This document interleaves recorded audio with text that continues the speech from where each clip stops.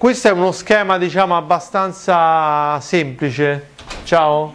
È uno schema abbastanza semplice di streaming, cioè le posso registrare eh, con i miei dispositivi di registrazione, mando dentro un mixer video con, con un riscontro.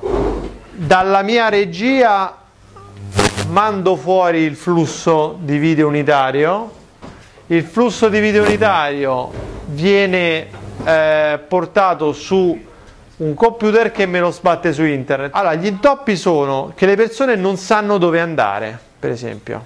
Questo è un intoppo tipico.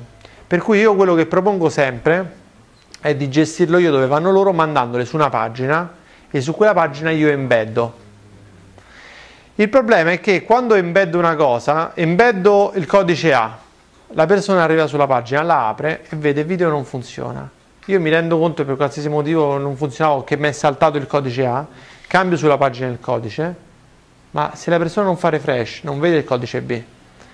Quindi può succedere che io trasmetto e le persone non seguono. Per questo è sempre, per mettersi a riparo da questo genere di cose, è sempre buono, buono avere un canale di back.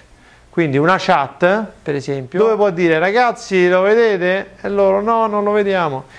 Perché secondo voi in quella chat non si può entrare liberamente ma bisogna collegarsi tramite Twitter, tramite Facebook? Questa è la prima cosa, l'autenticazione.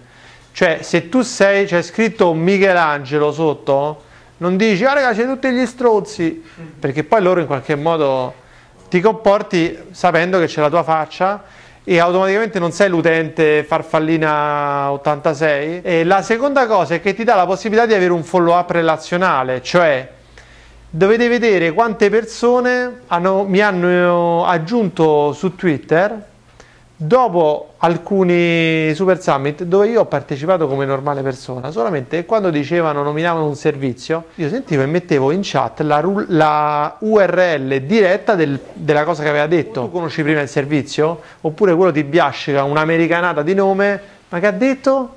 E non lo ritrovi. Invece solamente mettendo, io mettevo semplicemente i link delle cose che loro nominavano.